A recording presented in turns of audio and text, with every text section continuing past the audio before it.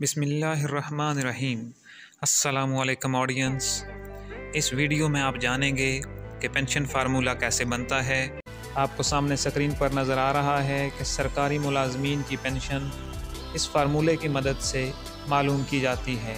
Gross pension is equal to emoluments multiplied by 70 multiplied by qualifying service divided by 100 divided by 30 इस फार्मूले को मुख्तसरा इस तरह भी लिखा जाता है कि gross pay is equal to basic pay multiplied by seven multiplied by qualifying service divided by three hundred emoluments में बुनियादी तनख्वाह शामिल होती है।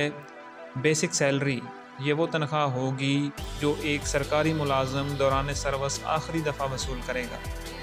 यहाँ पर वो लिखा जाएगा इस फार्मूले में ज़्यादा से ज़्यादा क्वालिफाइंग सर्विस 30 साल मानी जाती है। मुलाजिम चाहे 32 साल सर्विस करे 36 या फिर 40 फार्मूले में गिनी 30 ही जाएगी।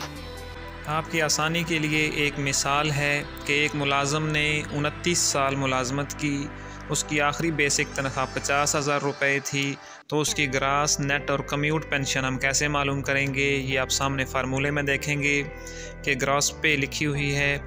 Is equal to fifty thousand ये जो उसकी आखिरी पे थी एमोलूमेंट्स में ये आया है।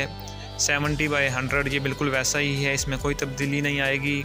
और मल्टीप्लाइड बाई ट्वेंटी नाइन ये उसकी क्वालिफाइंग सर्विस है, जो कि उनतीस साल थी। ये लिखी गई है डिवाइडेड बाई थर्टी और फिर आप देखेंगे कि नीचे हल करने के बाद gross pay is equal to fifty thousand multiplied by point seven multiplied by point nine seven और इसकी ग्रास पे बन रही है तैंतीस हज़ार नौ सौ पचास रुपये अब इस ग्रास पे का पैंसठ फ़ीसद हिस्सा नेट पेंशन होगी, यानी कि बाईस हज़ार सड़सठ रुपये जो पेंशनर को माहवार मिला करेगी, और बकिया ग्यारह हज़ार आठ सौ बयासी रुपये कम्यूट तस्वर होगी।